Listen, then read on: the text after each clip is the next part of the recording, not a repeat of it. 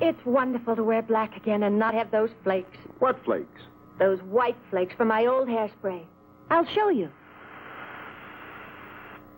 When it dried, it flaked off. Made a mess.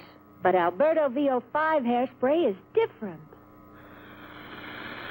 See? Crystal clear. Can't feel it, and it doesn't flake. Ever.